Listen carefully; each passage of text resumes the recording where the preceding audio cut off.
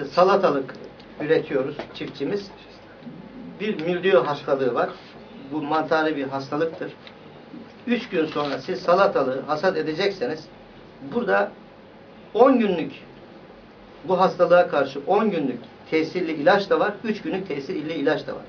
Eğer üreticimiz orada bilmeden 3 günlük tesirli ilacın yerine 10 günlük tesirli bir ilacı kullanırsa 3 gün sonra da hasat etti. Ne olur?